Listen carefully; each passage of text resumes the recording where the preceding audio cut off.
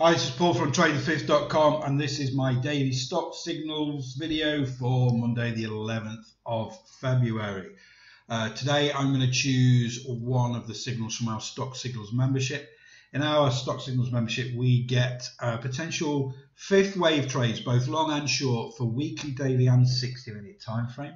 I'm going to be looking at longs today. So in our membership area we click on longs and we look for the 11th for here and we the members click on the image and download the spreadsheet, which looks something like this today.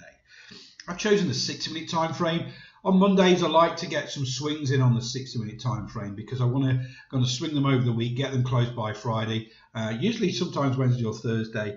Uh, so I, I look at this uh, on, on, the weekend and prepare in my swing trading um, signal service uh, quite a few of these 60 minutes uh, for for the start of the week. So I've chosen Marriott. This is a six minute time frame. You click on the bottom of the chart there, you can see the tabs for daily and weekly.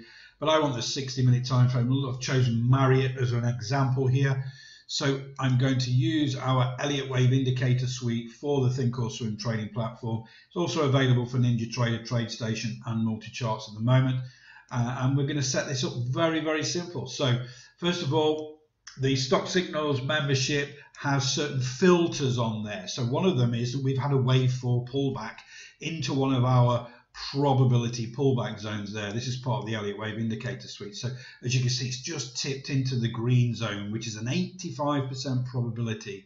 Go on and go, it's going to go on and make that new wave five high into our automated target zones there. And that's around about $119 to the top end of that target zone. The next filter that we use on the Stock Signals membership is our 535 oscillator. And this looks at the performance of that wave four.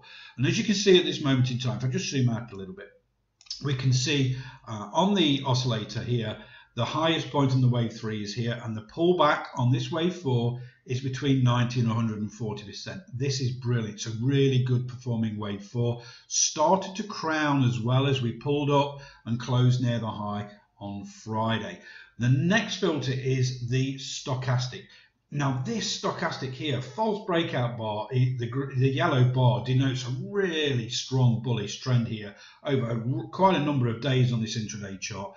And then on, on Thursday and Friday, we have the, the stochastic pull back against that false breakout bar. Now, the, the idea is with, with this on our indicator suite is highly likely that it wants to return back to that uh, strong bullish uh, momentum on the stochastic there. So really, really, really good sign. I've also included our multiple time frame dot cloud. So this is a 60 minute time frame. The top row of dots are the 60 minute and it refers to our EMA cloud here. It's part of our uh, black box breakout indicator suite. But I just wanted to show you this, that this is what a pullback looks like in our multiple time frame dot cloud. On the hourly is the top row of dots. The next one is two hours, four hours, and then daily and weekly. As you can see, overall strong bullish trend on those higher time frames on the, on Marriott. But the, the, the pullback looks like this. So when it's cyan, it pulls back into the cloud on this hourly time frame, and then red just below there. And as you can see on the two hour, it pulled into the EMA cloud as well on there. And then we start to come back red and cyan. And as it goes out, the cloud on the six minute will go all green again with a green square on top, denoting strong bullish momentum. So let's go through and look about the talk about the entry now. So again, automated target zone for the uh, for the fifth wave move up here. We've pulled back into the green zone. Now we've just got to look for an entry really. So the stop loss is always going to be uh, at this with this type of uh, price on here. We're talking about 10 cents below that wave four low. So 114.48 is the stop loss. Now we closed just really close to the high on uh, on Friday on Marriott. So with some good strong bullish momentum into the close we can be reasonably aggressive with this, but I just want to get over the $116 mark. I don't like those whole uh, dollar marks there. So my entry is going to be 116.06 for this long on Marriott on the six minute time frame.